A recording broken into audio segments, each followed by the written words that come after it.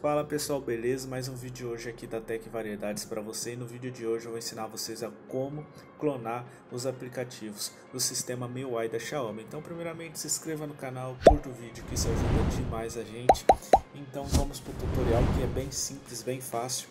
O que, que vocês têm que fazer? Vocês têm que entrar aqui em configurações, onde eu acabei de entrar. E vocês vão vir na aba app.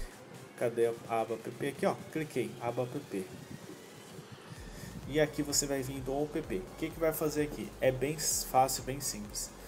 Para você clonar o aplicativo, você só tem que clicar aqui ó, nesse abinho aqui, vai ficar azul. Pronto, o aplicativo foi clonado.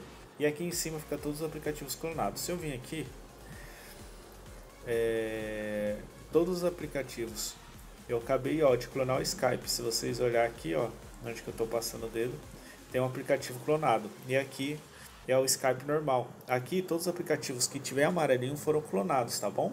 Então é bem simples, caso você falar, ah, eu não quero mais clonar o aplicativo. É bem simples, é só vocês clicarem sobre o aplicativo aqui nessa parte azulzinha que vocês vão desativar. Aqui é o desinstalar do app sim. Então é bem simples, bem fácil, vem é, já nativo do sistema Xiaomi, não precisa usar programas nem nada. E é bem simples. Então esse foi o vídeo tutorial de hoje. E quem tiver qualquer dúvida é só deixar nos comentários. Se tiver uma sugestão de vídeo, é só deixar aqui nos comentários também que eu vou estar tá fazendo o tutorial para vocês, tá bom? Então até nessa, valeu e até o próximo vídeo.